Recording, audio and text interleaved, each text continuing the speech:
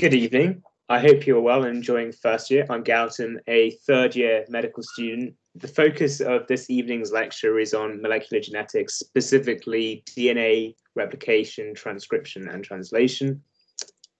With respect to the syllabus, I would say that it might be worth approaching uh, the molecular genetics topic by grouping the syllabus points into broad processes rather than distinct items, as I've done or attempted to do in this lecture.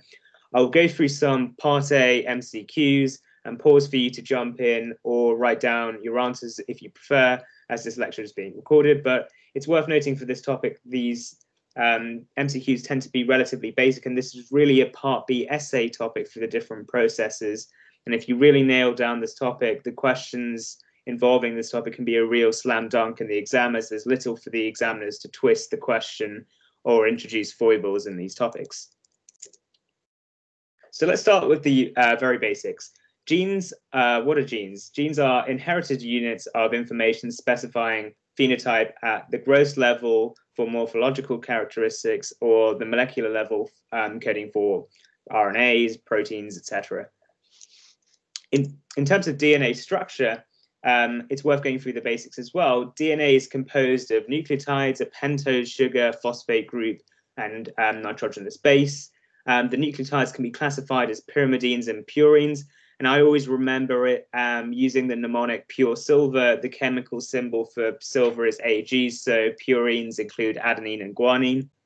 Um, a nucleoside has no phosphate group, whereas a nucleotide has up to from one to uh, three phosphate groups. Phosphodiester bonds join the nucleotides, and this is catalyzed by DNA polymerases. The five prime end uh, is a phosphate and the three prime end is a sugar corresponding to the location on the carbon ring. DNA is, as you may know, a double helix with two antiparallel um, strands held together by two hydrogen bonds between adenine and thymine for each nucleotide pairing, and cytosine guanine have uh, three hydrogen bonds. DNA is present in the nucleus associated with histones, um, that is histones to form nucleosomes, and these can condense further into um, chromosomes with linker DNA connecting the nucleosomes. Um, histone modifications are involved in the regulation of DNA expression, and DNA and proteins together um, form a complex called chromatin, and there are both euchromatin and heterochromatin forms, where euchromatin is less tightly packed, so it's more actively transcribed, and heterochromatin is less so. The first process we're going to consider is DNA replication. This comes up relatively frequently in MCQs, um, but uh, we'll reserve the most more in-depth steps uh, that we talk about here for essays in uh, Part B. So when does DNA replication occur?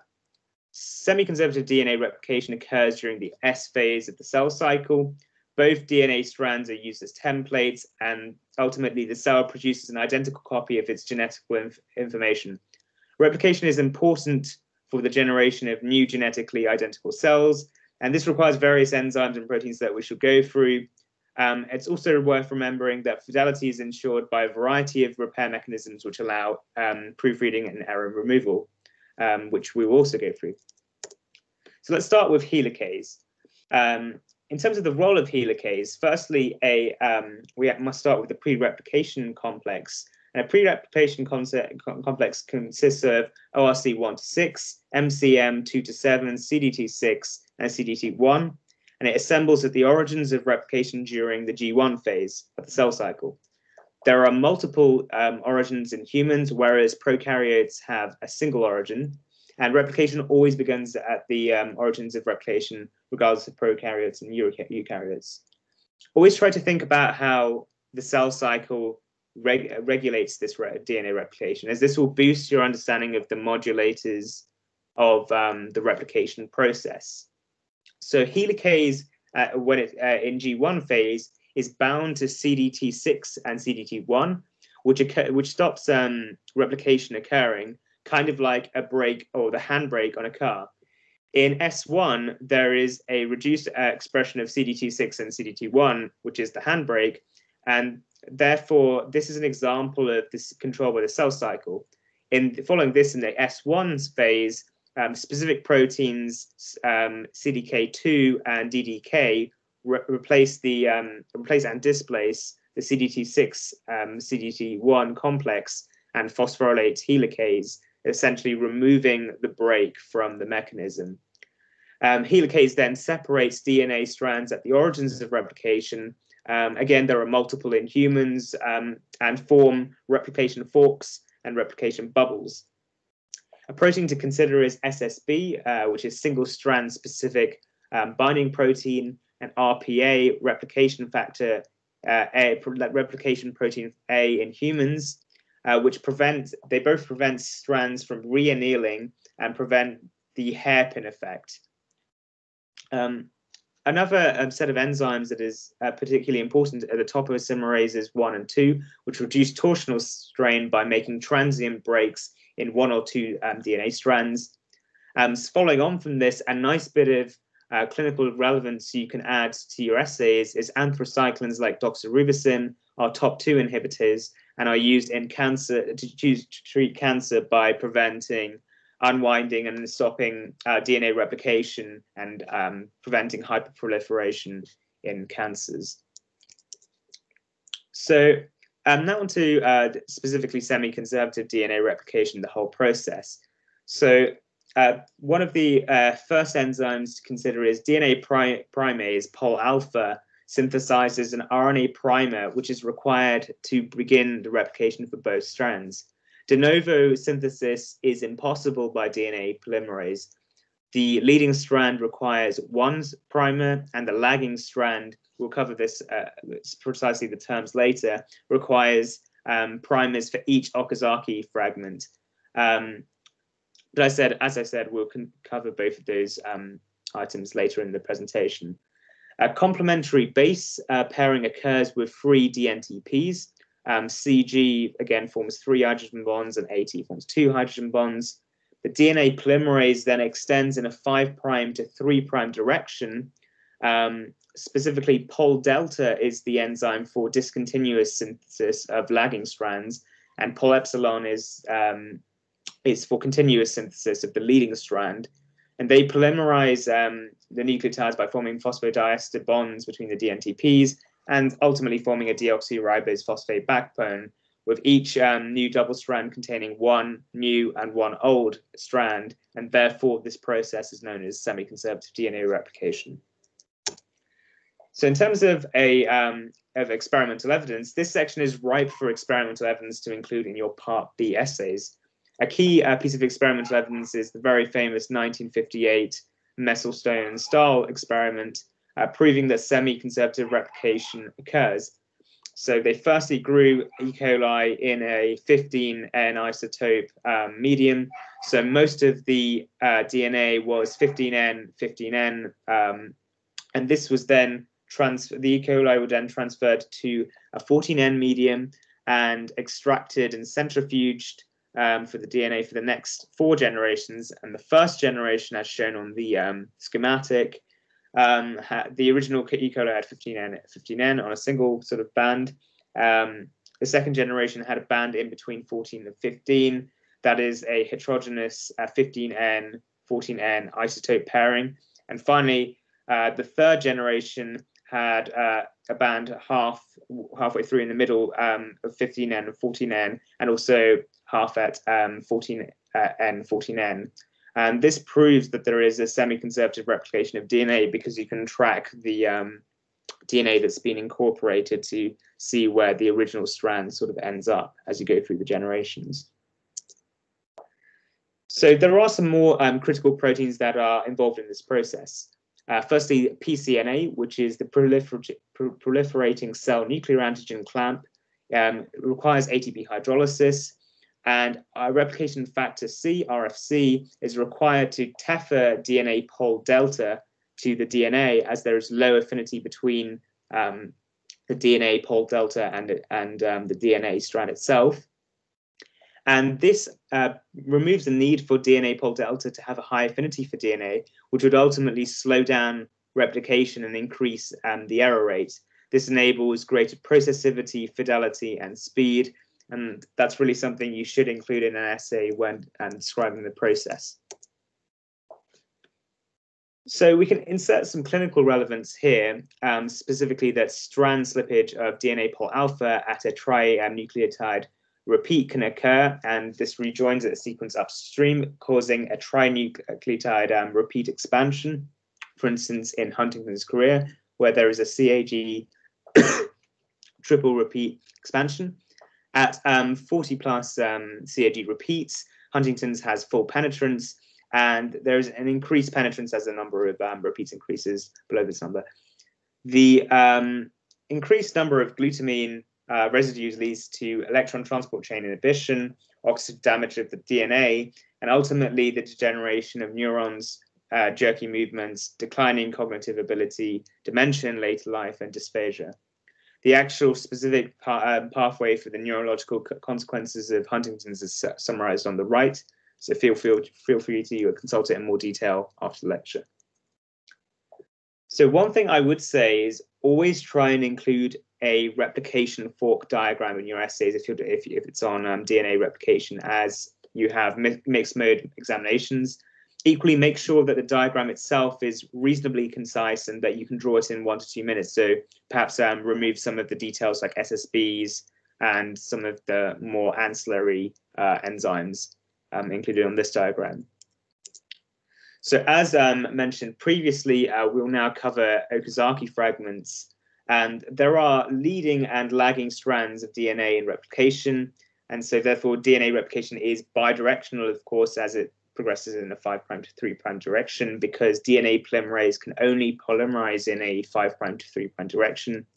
So DNA pol um, epsilon is used for continuous uh, replication on the leading strand, and DNA pol delta for discontinuous replication to form Okazaki fragments on the epsilon, um, Okazaki fragments on the lagging strand. Again, um, you can use the mnemonic of pol delta for discontinuous remember that. And eventually, um, during that process on the um, on the uh, lagging strand, eventually uh, DNA pol delta reaches the next RNA primer um, leading to the displacement of the primer, and this is replaced with DNA, producing RNA flaps, which are cleaved by FEN1, which is flap structure specific endonuclease 1, and this is then uh, degraded by RNase H. DNA ligase is used to join Okazaki fragments, and the experimental evidence for the existence of these Okazaki fragments is that in 1967, um, Sakabe and Okazaki used pulse radio labeled DNA with um, 3H thymidine, which would then which would then be incorporated into the new, newly replicated areas of E. coli with their DNA. And they denatured and extracted the DNA following this. And crucially, they observed that a large number of short units of DNA, specifically 1,000 and 2,000, between 1,000 and 2,000 nucleotides long, were present at only one of the strands of the replication fork. Um, this is identical and has been proven again in eukaryotes. And these fragments that we see on the lagging strand are referred to as Okazaki fragments. Now we arrive at the terminal step of DNA replication. In eukaryotes, um, termination is achieved by replisome collision. In prokaryotes, special termination sequences lie opposite to the origin of replication. Remember, there's only one for prokaryotes, and bind to TUS proteins to block the passage of replisomes. At the ends of the chromosomes, TTAGG tandem repeats um, are present thousands of times to protect and prevent the shrinking of the pro- of the end of the chromosome. And this prevents um, end-to-end fusions, uh, to, uh, forming double strand breaks, um, there is a sheltering pro- complex to protect um, from these re- repair mechanisms. And ultimately, because of these telomeres, uh, there is a Hayflick limit of 50 to 70 lim- um, cell divisions before cells enter senescence. So some cells, um, the relevance of this is some cells um, express telomerase, um, specifically specifically expressed in stem cells, gametes, and is important in cancer. And during telomere replication, there is a, a three prime uh, hydroxyl group um, overhang because the lagging strand primer cannot be placed upstream, and therefore telomerase contains a RNA template and reverse transcriptase TERT to extend the 3' prime OH overhang, and then ultimately the telomerase relocates. So this um, enables the replication of telomeres at the ends of the chromosomes shown in blue. So replication is um, necessarily a high fidelity process um, with, um, with one mistake per 10 to the power of 9. A simple bit of experimental evidence for this is that E. coli with proofreading protein mutants have a dramatically increased rate of mutation, um, really underlying that the uh, replication fidelity processes are critical. This experiment is easy to carry out as E. coli are easy to screen as they divide every 30 minutes. So how is replication fidelity ensured in DNA replication. There are several processes. First, um, correct nucleotides have a higher affinity, and then the enzyme, and then they exhibit conformational changes. So incorrect bases are more likely to dissociate, and there are equations defining this in terms of Gibbs free energy. And alternatively, there is direct repair of damaged slash alkylated um, nucleotides um, clin uh, clinically speaking, single nucleotide repair is um, affected in xeroderma pigmentosa. The second process is excision by uh, 3' to 5' prime exoribonuclease domain activity of DNA pol, which excises um, incorrect tautomeric bases. And following this, DNA pol adds in the correct bases, um, for, for example, for thymine um, dimerization. The third process is strand uh, directed mismatch repair, where mut S recognizes the wrong base, mut L and mut H recognize which is the new strand, um, which is hemimethylated and therefore has just been um, sort of replicated. They remove and excise the section, and a polymerase fills in the gap. The clinical relevance for this is that Lynch syndrome, hereditary non-polyposis colorectal cancer, is caused by a mismatch uh, repair defect and this confers a high predisposition for certain types of cancer, such as endometrial, ovarian, stomach, small intestine, brain, and skin cancer. There's no overall 80% um, overall lifetime risk with Lynch syndrome. An individual with a single allele only requires one mutation to be able to, uh, to, to, be unable to perform mismatch repair, and therefore this increases the um, risk of cancer. The fourth process um, for replication fidelity is non-homologous end joining repair processes which repair double strand breaks. And this process is um, defective in ataxia telangiectasia. Um, uh, the fifth process is homologous recombination, which requires two DNA homologous duplexes, and the damaged strand is repaired using the complementary strand from the double-stranded DNA, and there is no loss of um, nucleotides homologous recombination is uh, repair processes are defective in breast and ovarian cancer with BRCA1 mutations that are associated with the DNA repair complex. It's also defective in Fanconi anemia. So you can sprinkle some of those um, clinical examples into your essays. So now, in terms of um, MCQs, here is an example of what a Part A MCQ could look like. So um, feel free to um, jump in when I uh, read through the answer, or um, we could just pause and if since it's being recorded, you could write down the uh, uh, answer. So um, uh, what is the direction of DNA synthesis catalyzed by a DNA-dependent uh, DNA polymerase? What are the enzymes that can cut um, double-stranded DNA specific sequences? What is the, uh, what is the direction of um, DNA migration under the standard uh, electrophoretic conditions? Um, what is the name given to auton autonomously replicating DNA molecules used in standard cloning reactions? What are the enzymes that uh, called that can join uh, 3' OH and 5' PO ends of existing um, strand, strands of uh, stranded DNA molecules? So I'll just pause for a little bit and feel free to jump in. If not, we'll just go through the answers.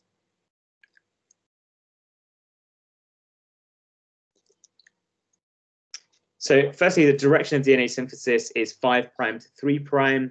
Um, in terms of uh, the enzymes that can cut double-stranded DNA specific sequences, these are restriction endonucleases and can be used for um, vector creation.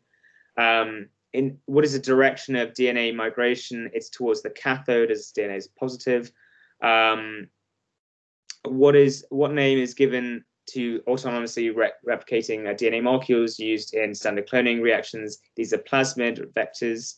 Um, what are the enzymes called that can uh, join uh, 3' OHs to 5' prime phosphates at the end of um, existing double-stranded DNA molecules? DNA ligases, and you can sort of uh, see this uh, from the Okazaki fragment um, being joined by DNA ligases in the previous slides.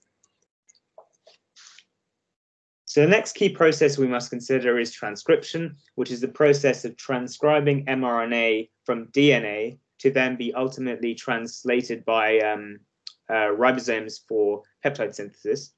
I would like to start by um, pointing out the eukaryotic mechanisms uh, of regulation uh, these are definitely useful for some Part B essays, which tend, which sometimes test um, the regulation of um, transcription. Um, so, firstly, the high degree of control required by eukaryotes is implemented by the use of chromatin remodeling and the requirement of transcription factors to initiate um, transcription. So, general transcription factors which can be abbreviated to GTFs or TFs, are specific to the required um, RNA polymerase and recognize and bind certain core, conserved core um, promoter sequences to allow for the assembly of um, transcriptional machinery. Specific um, transcription factors are specific to the gene and bind to sequences in the proximal promoter region to exert a finer degree of control over expression than GTFs. Cis regulatory elements, abbreviated as CREs, are um, are regions of non-coding uh, DNA which regulate the expression of neighboring genes, including core, proximal, and distal promoter regions. Enhancers are CREs that may be located in a distal promoter, upstream, downstream, or within the gene, which um, upregulates its transcription, typically by binding to um, activator proteins. Silencers are CREs typically located in um, the distal promoter, which suppress um, transcription by binding to repressor proteins, which complex with them. Um, insulators are CREs, which prevent the interference of regulation of um, neighboring genes. Locus control regions, L LCRs, are CREs, which control um, expression of clusters for distal uh, genes by many mechanisms, including the recruitment of chromatin remodeling, activator enhancing co-activation, transcriptional machinery. Um, yes, yeah, so just a variety of control mechanisms, really. Um, trans-regulatory elements um, regulate the expression of faraway genes in contrast to locus control regions, and therefore they code for transcription factors. Some of you might um, rightfully ask, how can I incorporate all these modulatory elements into a Part B essay? And I think the best thing for this would be to draw a quick diagram such as the one in the slide. Um, this sort of concisely encapsulates the um, information on eukaryotic cis regulatory elements and make sure your diagrams don't take longer than uh, one to two minutes to draw for the exams. Um, so now moving on to RNA polymerases. RNA in transcription is formed, uh, RNA in transcription is produced by RNA polymerases, and the antisense um, strand is the template. The sense strand protects um, exposed nucleotides from exoribonuclease activity. Um, the order of the bases in the coding strand is identical to the transcript, um, with the exception of thymine being replaced by uracil. So RNA pol 1 is recruited by transcription factor 1, uh, and it transcribes rRNA, ribosomal RNA. Um, RNA pol 2 is recruited by transcription factor 2, which transcribes um, mRNA and some snRNAs. Um, RNA pol 3 is recruited by TF3 uh, and transcribes tRNA, some RNA, and some snRNA, and other small non-coding RNAs, which are involved in regulation, such as um, miRNA. So now onto the first sort of uh, main step in the transcription process. So an RNA polymerase must firstly bind to a core gene promoter. Um, unlike unlike um, bacterial RNA polymerase, eukaryotic uh, RNA polymerase requires GTFs, general transcription factors, sort of mentioned before, and uh, with the cis regulatory elements, to associate with the promoter sequence, um, which then recruits the uh, polymerase. And in addition to this, activators and co-activators are required, which bind to regions outside the core promoter elements. And the binding of the transcription factors to the DNA, um, specifically the core promoter sequences, um, must occur. And the TBP subunit of transcription factor 2D binds to the TATA box. Um, transcription factor 2B recognizes BRI, um, and transcription factor 2F recruits RNA polymerase 2 and stabilizes the reaction with transcription factor 2D and transcription factor 2B. Um, following this and transcription factor 2H and 2 and 2E join, um, the transcription factor 2H subunits um, have both helicase and kinase activity. And essentially after this, the pre-initiation complex is formed, which leads to, um, and this is where the kinase activity comes in, the phosphorylation of RNA polymerase 2's C-terminal domain, um, specifically the serine 5 residue. And this leads to the um, separation of the strands, allowing the transcription uh, to begin, and this starts to transition from initiation to elongation. So maybe note the difference between this and DNA replication, where DNA replication much more has a sort of handbrake mechanism, whereas this has a, more of an initiation mechanism. Um, transcription activated proteins bind the enhancer sequences in DNA, which help to attract RNA pol to the starting point, or the initiation point rather, and transcription mediator proteins allow uh, activated proteins to communicate with RNA polymerase 2. And these are tissue specific, so mediators could potentially be clinically useful in targeting specific tissues and regulating their gene expression. So it might be worth exploring that in a part BSA if you can. Um, actually, uh, so there are also structures where the transcription factors, RNA pol, and DNA strands together are called transcription factories. And this really need, leads us on to some nice um, clinical evidence that you can uh, weave into the essay, uh, by, where Cook et al. 1996 found using pulse um, radio labeled nucleotides were only located in discrete sites in the nucleus and rather than everywhere. And these were termed to be um, transcription factors. And also antibodies were used uh, for RNA pol 2 and they were coincident, so um, they could also be detected in those locations. So onto the um, next sort of step, uh, elongation. So free activated RNA nucleotides bind the DNA template strand and complementary base pairing occurs. RNA polymerase 2 catalyzes the formation of um, phosphodiester bonds to extend the chain in a 5' to 3' direction and this is driven by the hydrolysis of um, the bonds CTP using CTP, ATP, UTP, or GTP. And ultimately, if an error occurs here, RNA polymerase 2 is able to move back and uh, excise the uh, incorrectly, um, incorrectly inserted nucleotide. Um, the clinical relevance of this is trichothiodystrophy is an autosomal recessive disorder caused by um, defects in the genes coding for transcription factors that allow um, the repair of RNA transcripts. And the symptoms of trichothiodystrophy include intellectual disability and recurrent infections. So that's possibly something to weave into an essay for that step. Now on to termination.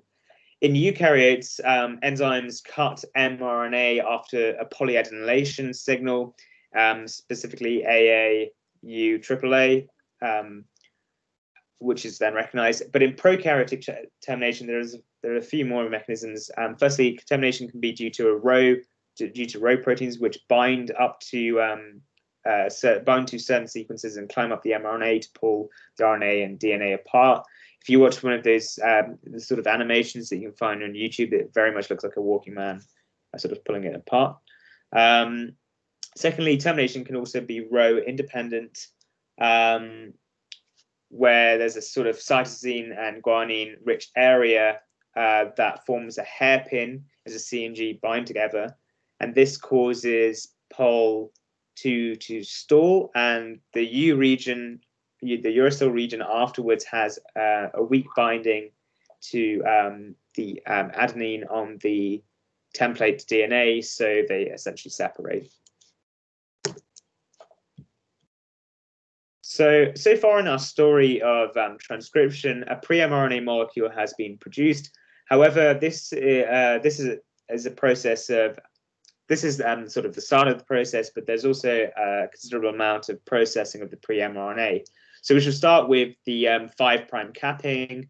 Um, that is uh, sort of forming a cap structure around the five prime end of the pre-mRNA that's just been produced um, in the process detailed above.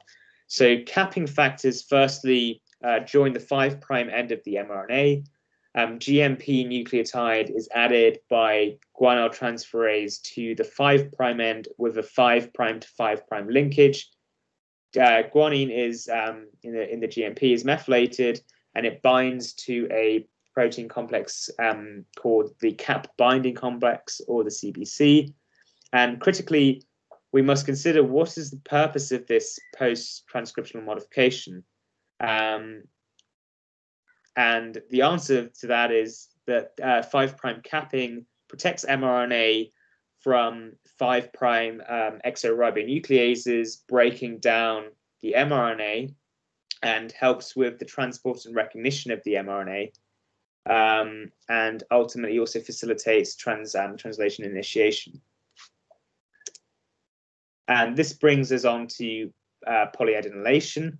Uh, the signal for um, cleavage and polyadenylation is AA T AAA um, or AA AAA. Um, and it is about uh, 30 base pairs upstream of the site of cleavage or the polyadenylation site. It's worth noting that um, there is a second signal downstream, uh, uh, downstream, which is uh, GT or GU rich. Um, after cleavage, the poly A polymerase adds around 200 to 250 adenosines. Um, note that this does not actually require a template. Um, and the poly A tail is then covered by poly A binding proteins. So, what is the um, functional consequence of this um, polyadenylation process?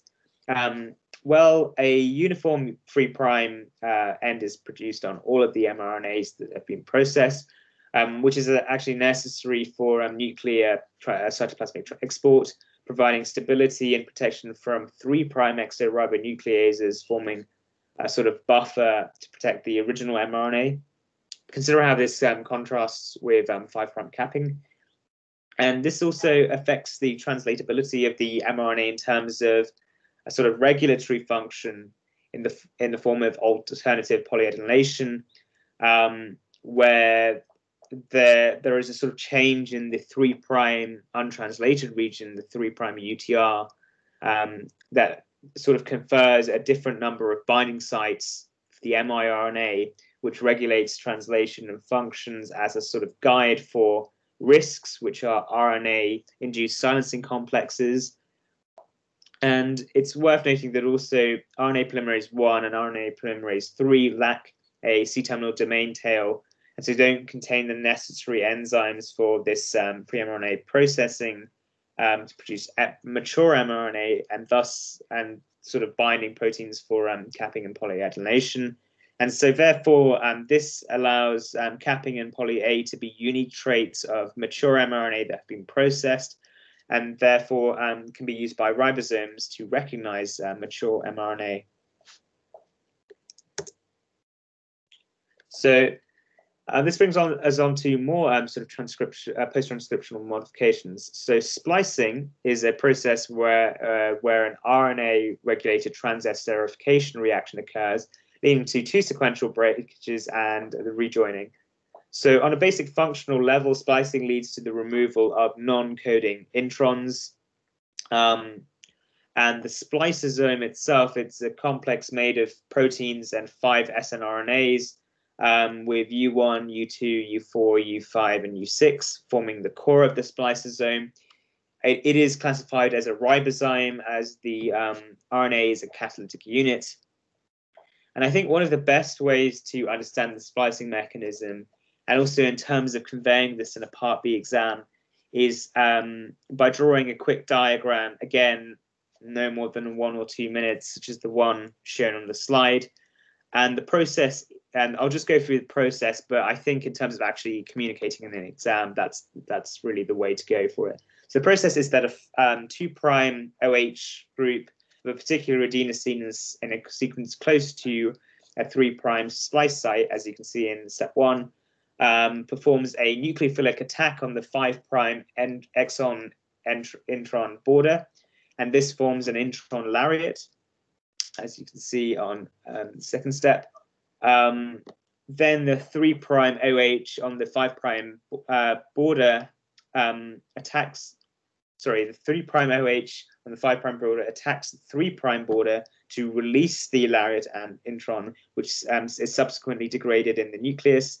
Um, and subsequent transesterification reactions fuse uh, the five prime and three prime exons, essentially excising and removing the introns that don't code for um, proteins. So um, onto alternative splicing. So mRNA from a gene can be spliced in many ways to produce a variety of combinations of introns and exons, and hence um, producing many different uh, slight variations of protein products, um, which really has the effect of expanding the proteome much beyond the genome.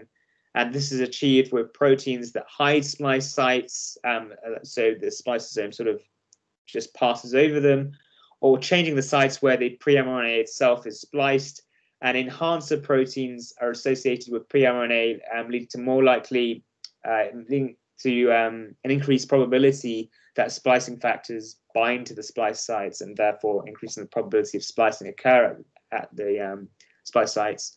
Cis elements indicate where exactly the spliceosome is splicing. And this can be used to allow tissue-specific gene regulation um, for instance, specific proteins um, such as the muscle proteins troponin T and tropomyosin are produced in this way using um, this alternative splicing mechanism. And overall, as well as um, sort of allowing this um, um, tissue-specific regulation, ultimately splicing produces a continued open reading frame, which is required for translation. So in terms of experimental evidence for the splicing process, um, there's there's one experiment I think um, is quite nice to include in the Part B essay, and that is the 1977 Roberts and Sharp experiment um, using adenovirus 2, uh, where the mRNAs were considerably shorter. The, the mRNAs that were extracted were considerably shorter than DNA, um, and restriction fragments were used to cut the DNA and hybridize and cut um, was sorry to cut the DNA and hybridize the DNA that has been cut with the mRNA, and they observed these sort of um, loops of unbound DNA in these hybrids of DNA and mRNA, and these sort of um, unbound loops that sort of look under the microscope like kind of a guitar string that hasn't been clipped uh, represents the introns that have um, been spliced. So now in terms of fidelity mechanisms, um, the spliceosome checks and rechecks RNA sequences as siRNP binds to pre-mRNA. Um, several components of the spliceosome are actually carried in the CDT tail of RNA polymerase 2. Again, remember that that um, gives it the specificity over um, RNA polymerase 1 and 3. And so this indicates when pre-mRNA is ready to be spliced as the sequences containing the splice sites essentially is emerged from the back of the enzyme. Um, so um, another thing to go through is the exon definition hypothesis, where specific proteins such as um, SR proteins, um, they're named SR proteins because they contain many serine and arginine residues, are thought to assemble on exons and uh, mark each splice junction uh, to essentially avoiding the existence of cryptic um, sort of hidden junctions that are unable to be bound for splicing. So that's another sort of uh, way of ensuring that um, splicing is very um, regulated. Um, there's another uh, another thing is of course um, nonsense mediated decay, and so where each was sort of each exon has an exon junction complex with proteins attached and after splicing, if an exon junction complex, an EJC, is present downstream of a stop codon, mRNA is found to be faulty and is degraded. Um, this essentially is a mechanism of detecting frameshift mutations and sort of um, stopping them. And the clinical relevance of this is seen in um, the effect, seen by gauging the effect of splice site mutations. For instance, a five base pair um, deletion in the intron of TN and T2, um, specifically a deletion of intron 3, leads to exon 4 being skipped, which leads to um, cardiac hypertrophy, arrhythmias, and increased chances of um, heart failure. So here's an example of what a Part A MCQ could look for like for transcription. Um, so this would be an true and false set. Um, so feel free to write down the answers or even jump in if, if you'd like. And I'll just pause for a little bit so we can go through the answers.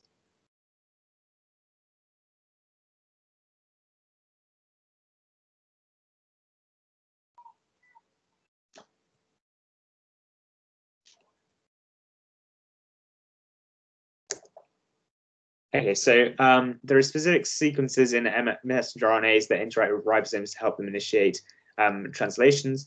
Uh, this is true, and it is also true when you think about sort of post-transcriptional modifications um, with um, uh, five prime capping and formation of um, a cap binding complex, which is required for initiation. Um, the carboxy terminal of polypeptides is produced first during protein synthesis. This is false. Um, because of the um, nature of the ribosomal structure, which we'll cover later. Um, mRNA codons are read by ribosomes in a 5' to 3' direction. This is true um, given the direction of RNA pol 2.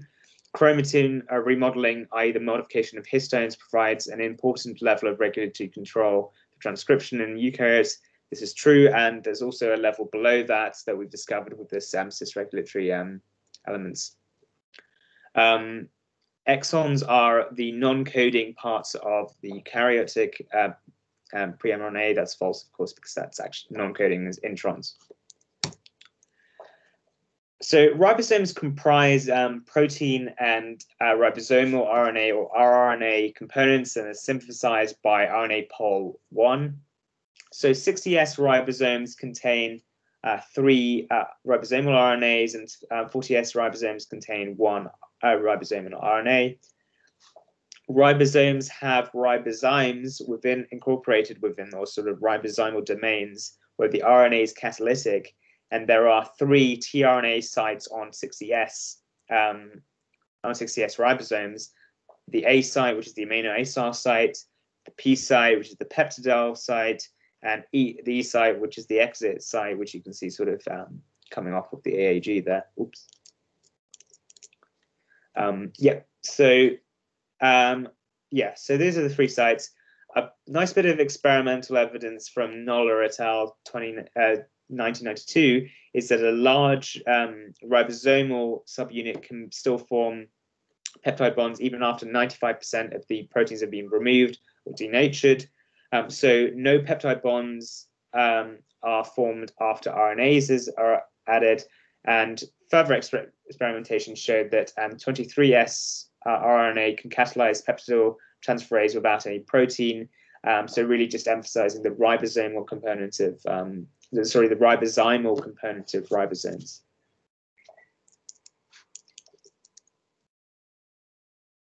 Oh, actually, uh, before um, going on to that, I, I, forgot to mention there is a bit of controversy surrounding the three-site allosteric model of elongation in um, translation, as it's not fully supported by structural studies, and the presence of uh, presence of an E site is at the exit site that is is uh, in eukaryotes is actually pretty unclear. So this is more of a sort of classical model, and actually the alpha epsilon model has been proposed, and it's um, much better um, supported by experimental data. Um, this is essentially where there is a single tight alpha epsilon binding domain for two amino acyl tRNAs, leading to a change in ribosomal conformation and subsequently um, translocation. So now we should we shall move on to the role of amino acyl tRNA.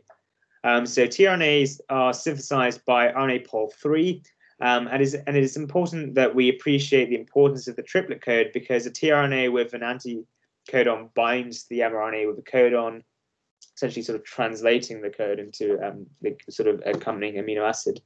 So hydrogen bonds form with two hydrogen bonds as previously between adenosine and thymine or uracil, and um, between cytosine and guanine in the A slot of the um, of the ribosome.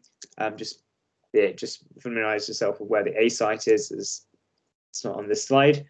Um, uh, I've also just sort of included uh, the kind of drawn diagram of a charged um, tRNA that you can include in your essays. Um, so uh, that again, make sure it takes um, less than one or two minutes to draw. Um, amino acyl tRNA synthetase attaches the um, amino acid that's encoded to the correct tRNA. There are only uh, 20 amino acids, but there are 64 different combinations of codons um, which leads to degeneracy, which is a key attribute of this process. A second uh, effect to it consider is the wobble effect, where the last base can bind to more than one other base, meaning that different codons um, code for the same amino acid. So there's a sort of degree of redundancy there. Um, a nice bit of uh, experimental evidence to include for this process is that Chapeville led the, led the discovery of um, amino acyl tRNA synthetase, um, showing that tRNA binding to cysteine originally was modified to bind to alanine, and this led to um, the binding, the insertion of sort of uh, alanine instead of cysteine when they put those in a sort of pool that was controlled experimentally. And this essentially demonstrated that codon recognition takes place at the level of tRNA uh, with the anticodon and codon, and not at the level of amino acids and therefore the uh, attaching of amino acids or specific amino acids that have been coded for to the specific tRNA is instrumental to the decoding process. The clinical relevance of this is that MERRF syndrome leads to um, defective um, tRNA um, lysine and subsequently an ox, uh, oxidative phosphorylation protein dis, um, deficiency, and this presents with ragged red fibers, muscle weakness, seizures, um, cerebral ataxia, myopathy, progressive myoclonic epilepsy, twitches, spasms, and dementia. Uh, the clinical treatment for this is um, coenzyme Q10 supplements. And so that's, again, a, a little bit of uh, clinical relevance that you can weave into a part B essay.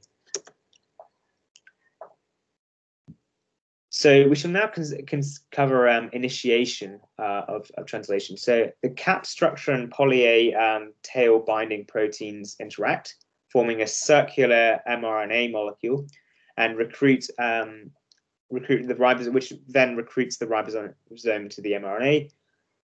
The um, mRNA, the precise mRNA cap structure is actually required for initiation and EIF4E, which is a eukaryotic initiation, initiation factor, binds the small ribosomal unit, and initiated tRNA is then recruited into the P site.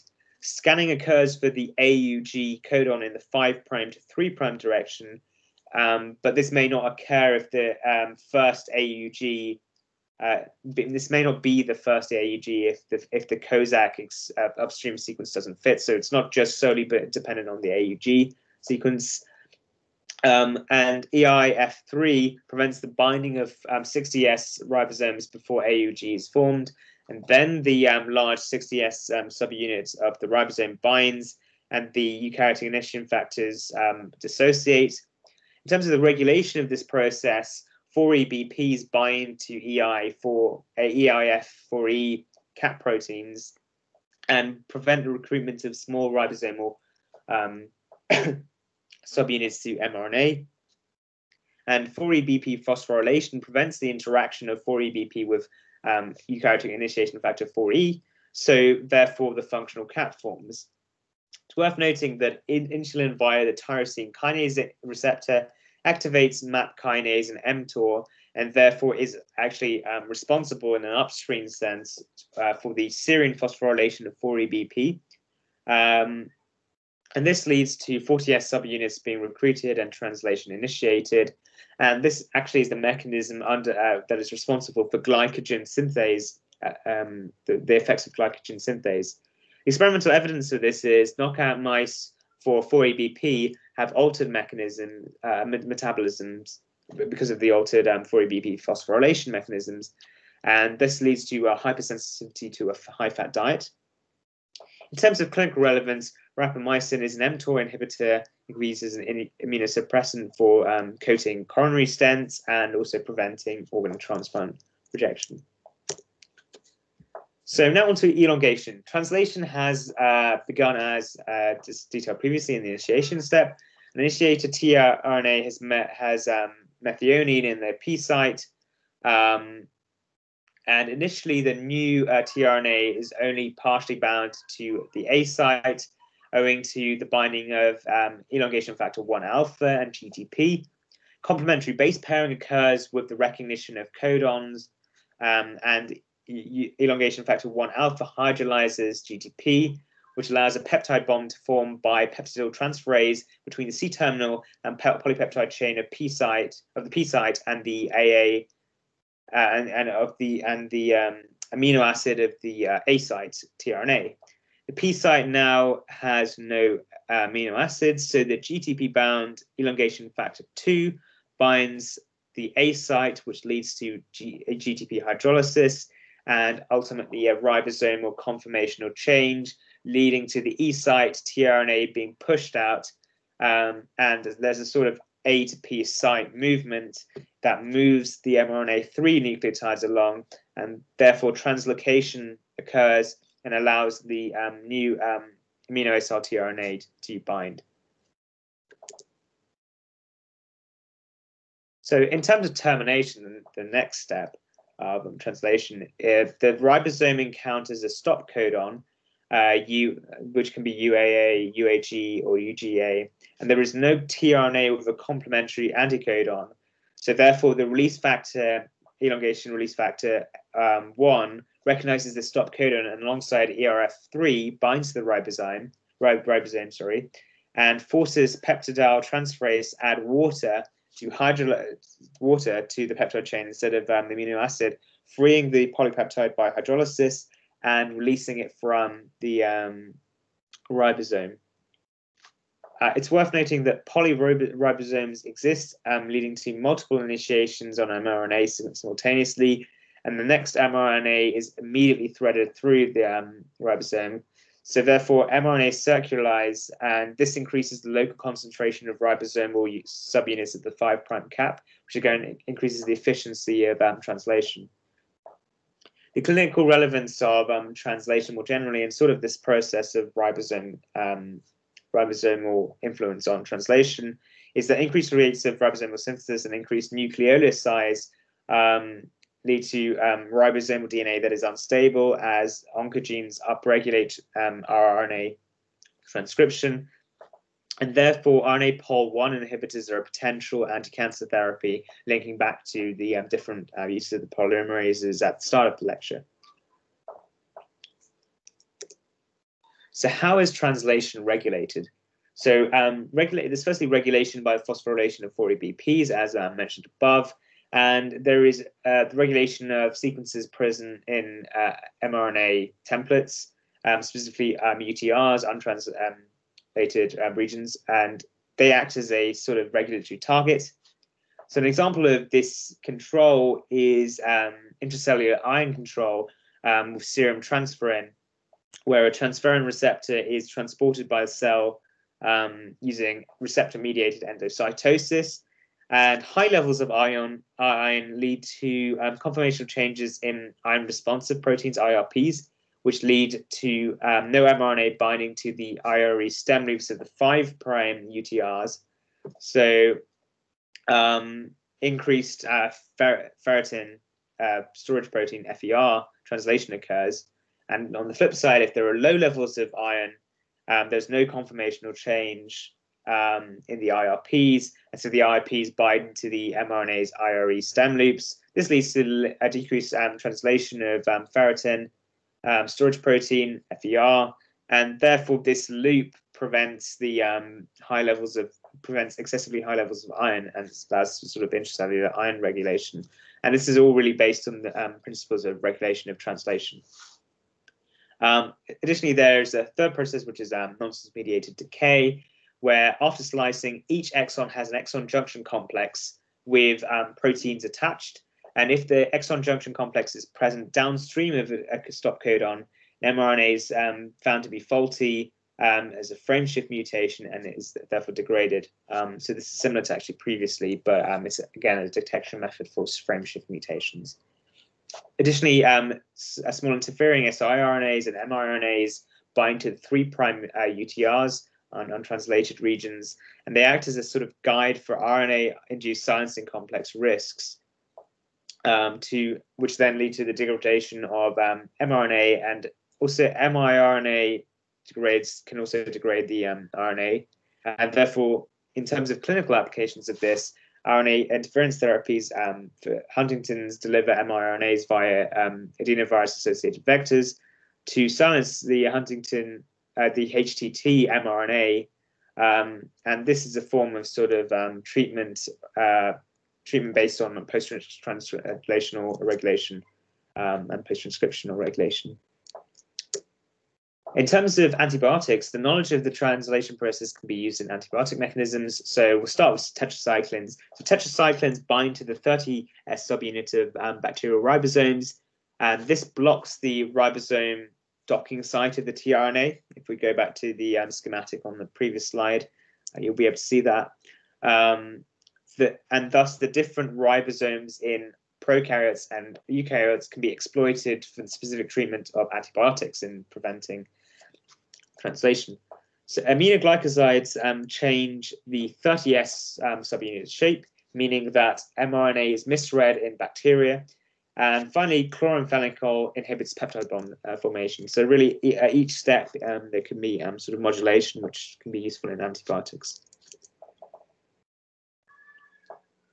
So once you've translated a protein, obviously protein targeting is highly important. So for protein secretion must be important to the endoplasmic reticulum first. And the signal uh, hypothesis states that cells utilize signal sequences in polypeptides to transport them to specific um, intracellular destinations, sort of like an address on a post uh, postage sort of parcel, uh, where, which is then cleaned, uh, cleaved um, later. And there, there are sort of um, stretches of hydrophobic residues for polypeptides going within or through membranes um, for instance, there are N-terminal leader peptides which direct proteins to the um, endoplasmic reticulum membrane.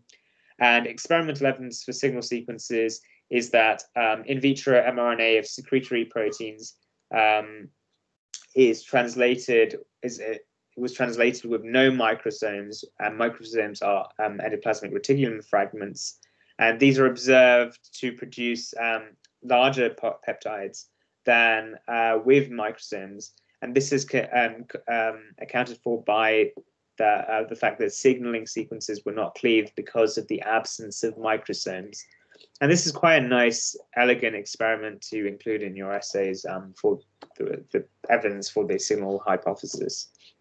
Um, in terms of translocation into the ER, this is also an important mechanism and where signal sequences sort of emerge from the ribosome as it sort of has been translated, SRPs or signal recognition particles bind to this um, translated polypeptide, and an SRP uh, ribosome complex forms and binds to the SRP receptor in the endoplasmic reticulum.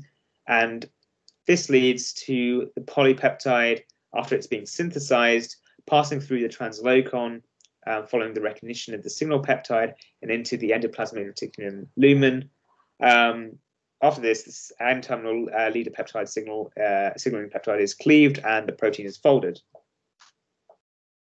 So that's our final process. Um, uh, so in terms of acknowledgements of sources, unless otherwise stated, the diagrams in this PowerPoint were um, created with um, BioRender or drawn digitally um, on Notability. Um, thank you for listening. If you have any queries, feel free to email me with um, your query or um, and please do fill in the feedback form in the link provided to receive a copy of the lecture slides and four extra multiple choice questions. Best of luck with your exams. That was brilliant. Thank you very much, Gautham.